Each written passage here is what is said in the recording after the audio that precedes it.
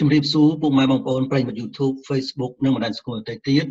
ថ្ងៃនេះខ្ញុំបាទជាបណ្ឌិតខកសុនមានចំណេះដឹងសុខភាពមួយទៀតដើម្បីចែកម្លែកពុកម៉ែបងប្អូនប្រិយមិត្ត YouTube Facebook និងបណ្ដាញសង្គមដទៃទៀតទាក់ទងនឹងបញ្ហាស្ត្រីមានផ្ទៃពោះបាទអញ្ចឹងថ្ងៃនេះខ្ញុំមានប្រធានបទថ្មីមួយទៀតដើម្បីចែកម្លែកទាក់ទងបញ្ហាស្ត្រីមានផ្ទៃពោះហ្នឹងគឺការធ្លាក់សលើស្ត្រីមានផ្ទៃតិចបាទអញ្ចឹងស្ត្រីមួយចំនួនក៏តែងតែសាកសួរមកខាងយើងខ្ញុំដែរទាក់ទងបញ្ហាធ្លាក់សហ្នឹង តែគាត់កើតមានក្នុងពេលមន្ទីរពោះហ្នឹងគាត់ចង់សួរថាតើអាធ្លាក់សហ្នឹងគឺជាការធម្មតាឬក៏បញ្ហាជាជំងឺបាទអញ្ចឹងថ្ងៃនេះខ្ញុំសូមបកស្រាយតែម្ដងតើតងបញ្ហាលាក់សលើស្ត្រីមន្ទីរពោះហ្នឹងតើលក្ខណៈធម្មតាយ៉ាងម៉េចហើយជំងឺយ៉ាងម៉េចបាទអញ្ចឹងសូមស្ដាប់ការបកស្រាយរបស់ខ្ញុំបាទដូចតទៅបាទអញ្ចឹងមេតិកាដែលខ្ញុំយកបកស្រាយក្នុងថ្ងៃនេះគឺមាន5ចំណុចសំខាន់តើតើនឹងការលាក់សលើស្ត្រីមន្ទីរពោះហ្នឹងទី1គឺសេចក្តីផ្ដើមទី2គឺធ្លាក់សធម្មតា និងធ្លាក់សមិនធម្មតា បាទទី3គឺមូលហេតុនៃការធ្លាក់សមិនមិនធម្មតាបាទហើយទី4គឺតើតើនឹងផលប៉ះពាល់ចំពោះទារកបាទហើយទី5គឺការព្យាបាលនិងការបងបង្ការបាទអញ្ចឹងយើងឃើញមាន5ចំណុចសំខាន់តើតើការធ្លាក់សលើស្ត្រីទៅពូនឹងបាទអញ្ចឹងទី1គឺសេចក្ដើមទី2ធ្លាក់សធម្មតានិងមិនធម្មតាបាទទី3គឺមូលហេតុនៃការលាក់សមិនធម្មតាបាទទី4គឺផលប៉ះពាល់ចំពោះទារកបាទទី5គឺការព្យាបាលនិងការការបង្ការ បាទអញ្ចឹងយើងលើសេចក្តីផ្ដើមយើងឃើញថាការមានផ្ទៃពោះគឺបង្កឲ្យមានការប្រែប្រួលនៃការធ្លាក់សបាទអញ្ចឹងការមានផ្ទៃពោះហ្នឹងគឺថាគឺបង្កឲ្យមានការប្រែប្រួលនៃការធ្លាក់សគឺប្រែប្រួលពណ៌សភាពហើយនិងបរិមាណបាទអញ្ចឹងមានការប្រែប្រួល3សំខាន់គឺពណ៌របស់វានឹងសភាពហើយនិងបរិមាណហើយយើងឃើញថាការកើនឡើងនៃការលាក់សហ្នឹងគឺញឹកញាប់គឺជាសញ្ញានៃការដឹងឆាប់រហ័សនៃការមានផ្ទៃផ្ទៃពោះតែម្ដង បាទអញ្ចឹងស្ត្រីត្រូវមានការចាប់អារម្មណ៍នៅពេលដែលមានការកើនឡើងការអក្សរខុសធម្មតាមួយ បាទវាអាចជាសញ្ញាឆាប់តកតទៅនឹងដឹងឆាប់រហ័សនៃការមានផ្ទៃផ្ទៃពោះផងដែរបាទយើងហ្នឹងតកតទៅនឹងការមានផ្ទៃពោះស្អីឡើងវាជាមួយជាបន្តទៀតយើងថាបំរែបំរួលមួយចំនួនបាទអញ្ចឹងបំរែបំរួលមួយចំនួននៃពណ៌របស់ស្លែកសនៅពេលផ្ទៃពោះហ្នឹងគឺអាចធម្មតាបាទធម្មតាប៉ុន្តែមួយចំនួនទៀតនៅវាអាចជាការបង្ករោគឬក៏បញ្ហាផ្សេងផ្សេងទៀត បាទអញ្ចឹងបញ្ហាផ្សេងទៀតដូចជាអីវាអាចតទៅនឹងឈឺពោះសម្រាមមិនគ្រប់ខែកូនមិនមានការវិវត្តណាវាមានបញ្ហាផ្សេងទៀតច្រើនតែស្ត្រីត្រូវតែជួបពិគ្រោះជាមួយគ្រូពេទ្យដើម្បីរំមូលហេតុតទៅបញ្ហាហ្នឹងដើម្បីធ្វើការជាព្យាបាលបាទអញ្ចឹងគឺថាសេចក្ដីនៃការលាក់សរក្នុងពេលទីពួកយើងឃើញមានប៉ុណ្ណឹងគឺតទៅម្រែមរួលយើងឃើញថាម្រែមរួលមួយចំនួនគឺនៃពណ៌ហ្នឹងអាចធម្មតាប៉ុន្តែមួយចំនួនទៀតអាចជាកម្មកររោគឬក៏បញ្ហាផ្សេងទៀតដែលស្ត្រីស្ត្រីមានទេពោះត្រូវស្វែងរកដំណោះស្រាយ បាទអញ្ចឹងយើងមើលតទៅទៀតយើងថាការលាក់សធម្មតាអញ្ចឹងមានសំណួរមួយគេសួរថាតើជាធម្មតាទេដែលការលាក់សក្នុងពេលមានផ្ទៃតិចណាបាទអញ្ចឹងមានសំណួរគាត់សួរមកខាងខ្ញុំដែរថាដូចនឹងសំណួរខាងសួរមកខាងខ្ញុំដែរថាតើជាធម្មតាទេណាការលាក់សក្នុងពេលមានផ្ទៃពោះហ្នឹងបាទអញ្ចឹងចម្លើយយ៉ាងស្រួលគឺវាជាករណីធម្មតាស្ទើរតែគ្រប់ស្ត្រីមានលាក់សច្រើនក្នុងពេលមានផ្ទៃផ្ទៃ បាទអញ្ចឹងសារៈប្រយោជន៍របស់វាតទៅការរក្សាពេលបន្តិចមុនហ្នឹងគឺជួយការពារការបង្ករោគណាមួយ ដែលឡើងពីទ្វីមាទៅកាន់ស្បូនរបស់ស្ត្រីអាចទៅដល់កូនតែម្ដងបាទអញ្ចឹងគឺថាវាជាករណីធម្មតាស្ទើរតែគ្រប់ស្ត្រីដែលធ្លាក់សច្រើនហ្នឹងក្នុងពេលបន្តិចពោះបាទគឺដើម្បីជួយការពារការបង្ករោគណាមួយដែលកើតឡើងពីទ្វីមាទៅកាន់ស្បូនរបស់ស្ត្រីតែតែម្ដងបាទយើងមើលលក្ខណៈខ្លះយើងគិតថាការលាក់សហ្នឹងគឺធម្មតា បាទអញ្ចឹងលក្ខណៈនៃការលាក់សនេះគឺថាធម្មតាហ្នឹងគឺលាក់សមករាវបាទហើយសភាពវាថ្លាឬក៏ដូចទៅដល់គោហើយតែសំខាន់បំផុតគឺគ្មានក្លិនបាទអញ្ចឹងលាក់សនេះគឺថាធម្មតាលើស្ត្រីតិចពូហ្នឹងស្ត្រីត្រូវចងចាំថាលាក់សហ្នឹងគឺរាវបាទថ្លាឬដូចទៅដល់គោហើយគ្មានក្លិនទេហើយមួយទៀតដែលសំខាន់ដែលស្ត្រីនៅត្រូវមានការចាប់អារម្មណ៍គឺมันមានរោគសញ្ញារួមផ្សំមកជាមួយទេដូចជាលមាស់ដូចជាកាហាយនៅទ្វា បាទដូចជាឈឺផ្សានៅពេលដែលគាត់បាត់ជើងតូចបាទនោះគឺជាសញ្ញាធ្លាក់សមិនធម្មតាទេបើគិតទាំងចឹងណាយើងឃើញថាធ្លាក់សដែលធម្មតាគឺមានប៉ុណ្ណឹងគឺធ្លាក់សហ្នឹងគឺរាវថ្លាឬដូចទៅដល់គោគ្មានក្លិនទេ ហើយมันមានរោគសញ្ញារួមផ្សំមកជាមួយទេណារោគសញ្ញារួមផ្សំមកជាមួយដូចជា បាទគឺលមាស់កាហាយបាទនោមកឈឺចាប់ណានឹងគឺជាសញ្ញាមិនល្អទេវាតកតូននឹងការបង្ករោគហើយបាទយើងមើលតទៅទៀតគឺតកតូននឹងការលាក់សមិនធម្មតា បាទអញ្ចឹងការធ្លាក់សដែលស្ត្រីទៅពោះត្រូវចាប់អារម្មណ៍ថាខ្លួនឯងធ្លាក់សធម្មតាហ្នឹងគឺធ្លាក់សមានមានក្លិនមិនល្អបាទអញ្ចឹងធ្លាក់សដែលមានក្លិនមិនល្អគឺជាសញ្ញាមួយប្រាប់ថានឹងគឺតកតងនឹងលក្ខសមិនធម្មតា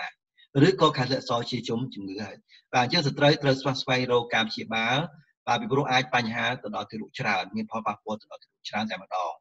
បាទហើយមួយទៀតគឺធ្លាក់សនឹងមានពណ៌បៃតងឬក៏លឿង បាទអញ្ចឹងបើសិនជាមានធ្លាក់សមានពណ៌បៃតងឬក៏លឿងនឹងវាអាចជាសញ្ញាតកតងនឹងជំងឺឆ្លងតាមផ្លូវភេទដែលគេហៅថា STD នឹងណាបាទអញ្ចឹងមេរោគឆ្លងនោះគឺជាមេរោគបំផេះភាគច្រើនបាទអញ្ចឹងមានពណ៌លឿងឬក៏បៃតងហ្នឹងហើយមួយទៀតគឺវាលមាស់បាទអញ្ចឹងលមាស់កាហាយណា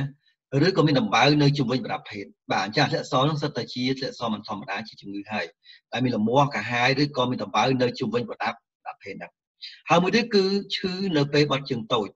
បាទអញ្ចឹងគាត់បាត់ជើងតូចមកគាត់ឈឺផ្សានៅពេលបាត់ជើងតូចហ្នឹងជាសញ្ញាបញ្ជាក់ថាវាមានការបង្ករោគអាចទៅដល់ប្រដាប់ហូរនោមរបស់ស្ត្រីដែរដែលយូរទៅវាអាចនឹងលិផ្លោកនោមឬក៏ទៅដល់លិតម្រងនោមរបស់ស្ត្រីតែម្ដងបាទអញ្ចឹងស្ត្រីត្រូវមានការចាប់អារម្មណ៍បើសិនជាមានសញ្ញាទាំងអស់ហ្នឹងបាទបញ្ញាប់ទៅជួបពេទ្យដើម្បីធ្វើការស្វែងរកនិងព្យាបាលជំងឺហ្នឹងបាទអញ្ចឹងធ្លាក់សនោះគឺធ្លាក់សមិនធម្មតាទេក្នុងពេលមានទេពុះហ្នឹងដែលយើងឃើញថាបញ្ហាហ្នឹងគឺ ជាសញ្ញានៃកម្មកររោគពីច្រើនហើយក៏អាចមានបញ្ហាផ្សេងទៀតដែរដែលទៅនឹងការលេសងក្នុងពេលទេពុះហ្នឹងវាមិនសតកកម្មកររោគទេយើងការវាអាចមានបញ្ហាផ្សេងទៀតដែលស្ត្រីត្រូវស្វាស្វែងទៅរកការពិគ្រោះនិងព្យាបាលជាមួយនឹងគ្រូពេទ្យបាទអញ្ចឹងយើងមើលជាបន្តទៀតគឺតើតើមូលហេតុនៃការលាក់សមិនធម្មតាបាទអញ្ចឹងមូលហេតុយើងញឹមជាងគេគឺពូបាក់តេរី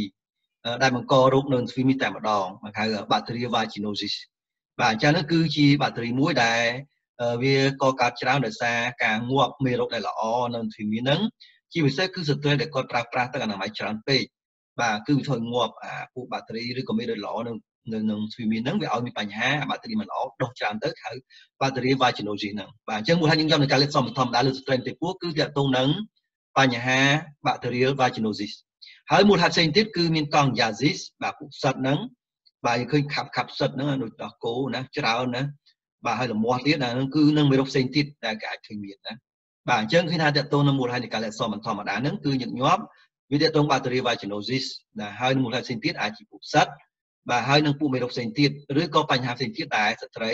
ត្រូវតែស្វះស្វែងរកការប្រឹក្សានិងព្យាបាលជាមួយនឹងគ្រូគ្រូពេទ្យ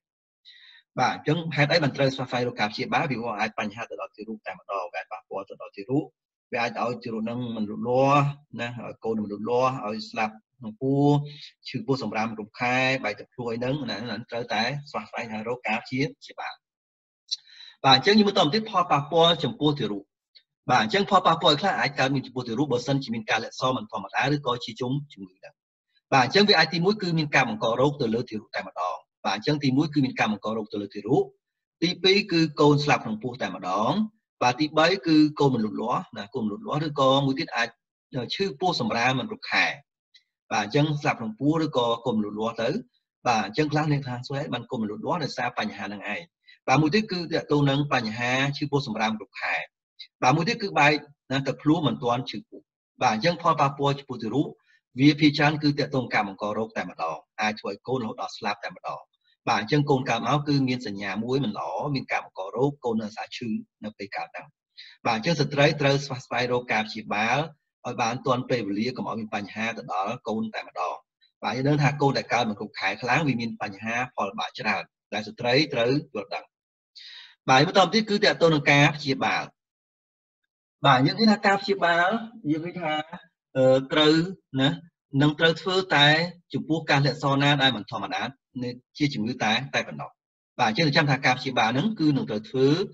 តែការលាក់សមិនធម្មតាជាជំងឺតែតែប៉ុណ្ណោះហើយគ្រូពេទ្យនឹងធ្វើការលាងសម្អាតនិងឲ្យថ្នាំប្រឆាំងនឹងមេរោគដែលមិនប៉ះពាល់ដល់ទារកបាទអញ្ចឹងគឺថាតើតទៅនឹងដើម្បីទទួលបាននៅអាថ្នាំដែលល្អមិនប៉ះពាល់ដល់ទ្រូនឹងគឺគួរតែប្រឹក្សាជំគ្រូពេទ្យជំនាញឬក៏ឯកទេសខាងរូបស្ត្រីតែគាត់បានយល់ដឹងពីថ្នាំនឹងច្រើនដែលប៉ះពាល់ដល់ទ្រូនឹងបាទនេះនឹងតទៅនឹងការព្យាបាលបាទអញ្ចឹងការព្យាបាលនឹងត្រូវធ្វើ តែការលក្ខសមមិនធម្មតាទេណាដែលជាជំងឺតែប៉ុណ្ណោះណាហើយគ្រូពេទ្យនឹងធ្វើការលាងសម្អាតហើយនឹងឲ្យថ្នាំប្រឆាំងនឹងមេរោគដែលមិនប៉ះពាល់ដល់ទារកយើងឃើញថាបញ្ហាដែលកើតមានច្រើនហ្នឹងគឺនៅពេលដែលចូលក្បាល6 7ខែហ្នឹងតែម្ដងបាទបន្តមកទៀតគឺតកតទៅនឹងការបងបង្ការបាទអញ្ចឹងការបង្ការយើងឃើញថាការធ្វើអនាម័យរាងកាយគឺសំខាន់សម្រាប់ស្ត្រីនៅពេលដែលគាត់មានទម្ងន់ហ្នឹងបាទអញ្ចឹងស្ត្រីត្រូវមានអនាម័យឲ្យបានល្អ នៅពេលមានផ្ទៃពោះហ្នឹងដើម្បីជៀសវាងបញ្ហាតកតងនឹងការបង្ករោគបាទតកតងនឹងធ្លាក់សតកតងការបង្ករោគតែម្ដងបាទអញ្ចឹងទី1គឺការធ្វើអនាម័យរៀងរៀងតែហើយទី2គឺប្រើប្រាស់ទឹកអនាម័យឲ្យបានត្រឹមត្រូវ បាទអញ្ចឹងត្រូវត្រូវមើលដែរ pH របស់វាហ្នឹងបាទដែលសមស្របសម្រាប់ការប្រើប្រាស់ហើយការប្រើប្រាស់វាហ្នឹងគឺមិនត្រូវញឹកញាប់ពេកទេបាទពីព្រោះអាចធ្វើឲ្យងាប់នៅមេរោគដែលល្អនៅនៅជុំវិញទ្វីហ្នឹងអញ្ចឹងស្ត្រីត្រូវយល់ដឹងអំពីការប្រើប្រាស់ទឹកអនាម័យបានត្រឹមត្រឹមត្រូវបាទវាអាចចូលទៅក្នុង YouTube channel របស់ខ្ញុំមួយទៀតគឺតើតទៅនឹងខកសុនអំពីវិសុយអាចមើលលម្អិតក្នុងហ្នឹងបាទគឺតើតទៅនឹងការប្រើប្រាស់ទឹកអនាម័យនិងអនាម័យរបស់ស្ត្រីហ្នឹងតែម្ដងហើយមួយទៀតគឺការប្រើប្រាស់ថ្នាំថ្នាំសុលបាទអញ្ចឹងការប្រើប្រាស់ថ្នាំសុលឬក៏លាបនឹង បាទលាបទ្វីមាននឹងទៅតាមប្រភេទជំងឺតាមការណែនាំរបស់គ្រូពេទ្យបាទអញ្ចឹងការប្រើប្រាស់ថ្នាំសុលនឹងឬក៏លាបទ្វីមាទៅតាមប្រភេទជំងឺតាមការណែនាំរបស់គ្រូគ្រូពេទ្យបាទនោះគឺតកតទៅនឹងការបងបង្ការបាទអញ្ចឹងបើសិនជាស្ត្រីមានផ្ទៃពោះមានបញ្ហាធ្លាក់សហ្នឹងបាទសង្ស័យថាវាអាចជាជំងឺឬអត់ហ្នឹងអាចអញ្ជើញមកប្រឹក្សាជាមួយនឹងខាងបរិស័ទយើងខ្ញុំយើងមានសេវាហ្នឹងបាទយើងមានលេខទូរស័ព្ទ3ខ្សែគឺ088 3132 225 092593350និង016585769បាទយើងមានដំណោះស្រាយក្នុងការរក្សានិងព្យាបាលនឹងបញ្ហាអស់ហ្នឹងបាទអញ្ចឹងនោះគឺតើតើនឹងបញ្ហាលាក់សលើស្ត្រីមីតៃបាទហើយចង់រោគទីតាំងរបស់យើងខ្ញុំអាច scan តាម QR code បើសិនលោកលោកស្រីគាត់មានទូរស័ព្ទ iPhone អាចចូលក្នុង App Store ស្វែងរកកម្មវិធី QR code reader បាទដំឡើងកម្មវិធីនឹងមក scan ទៅលើ QR code យើងខ្ញុំទៅបាទ load Google Map ឃើញទីតាំងរបស់យើងខ្ញុំហើយឬក៏លោកស្រីគាត់មានទូរស័ព្ទផ្សេងក្រៅពី iPhone អាចចូលក្នុង Google Play ស្វែងរកកម្មវិធី Google Land បាទ scan ទៅលើ QR code យើងខ្ញុំទៅបាទក៏ load Google Map ឃើញទីតាំងរបស់យើងខ្ញុំដែរឬលោកស្រីដែលគាត់មិនមាន smartphone ទេអាចមើលតាមផែនទីផ្ទាល់តែម្ដងគឺចុះយើងឃើញតាមរូបភាពហ្នឹងយើងចុះតាម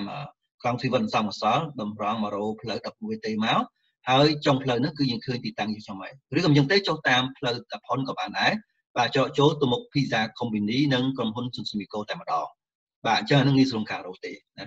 បាទហើយបើលោកលោកស្រីពុកម៉ែបងប្អូនប្រិយមិត្ត YouTube ទាំងអស់ចង់បានវីដេអូអប់រំសុខភាពដទៃទៀតទាក់ទងស្ត្រីមន្ទីពូបញ្ហាស្ត្រីមន្ទីពូឬក៏បញ្ហាអត់កូនឬក៏បញ្ហាទីរូបអាចចូលទៅក្នុង YouTube Channel វាយពាក្យប្រាសាទរីករាយបាទពេលនេះគឺ logo របស់យើងខ្ញុំមកបាទហើយចុចពាក្យ subscribe នៅរូបកណ្ដឹង បាទអញ្ចឹងនៅពេលនេះផុសលើក្រោយនឹងមានវីដេអូថ្មីថ្មីបង្ហាញប្រាប់ក្នុង YouTube តែម្ដងបាទអញ្ចឹងអរគុណដល់អ្នកបានចូលរួម subscribe បាទអញ្ចឹងចូលរួម subscribe បាទណែនាំដល់អតិថិជនក្នុងការ subscribe ក៏ដូចជាលើកទឹកចិត្តក្នុងការធ្វើវីដេអូជាបន្តបាទសូមអរគុណ